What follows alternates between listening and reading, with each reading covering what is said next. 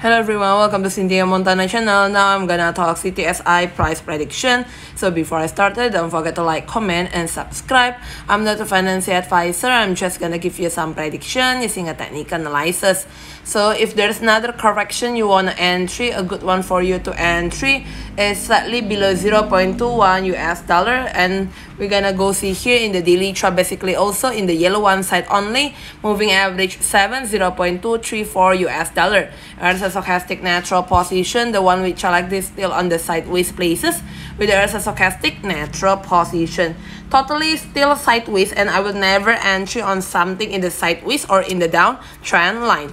Thank you everyone for watching this video. Don't forget to like, comment, and subscribe. Bye bye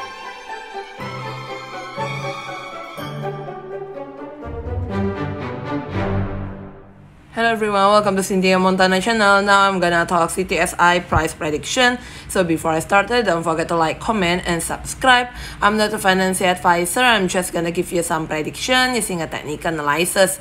So if there's another correction you want to entry, a good one for you to entry is slightly below 0.21 US dollar. And we're gonna go see here in the daily chart, basically also in the yellow one side only, moving average 7, 0.234 US dollar. There's a stochastic natural position, the one which I like this still on the sideways places, with there's a stochastic natural position.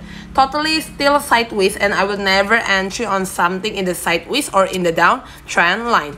Thank you everyone for watching this video. Don't forget to like, comment, and subscribe. Bye bye. Hello everyone, welcome to Cynthia Montana channel. Now I'm gonna talk CTSI price prediction. So before I started, don't forget to like, comment, and subscribe. I'm not a financial advisor. I'm just gonna give you some prediction using a technical analysis. So if there's another correction you want to entry, a good one for you to entry is slightly below 0.21 US dollar. There's a stochastic natural position. Totally still sideways and I will never entry on something in the sideways or in the down trend line. Thank you everyone for watching this video. Don't forget to like, comment, and subscribe. Bye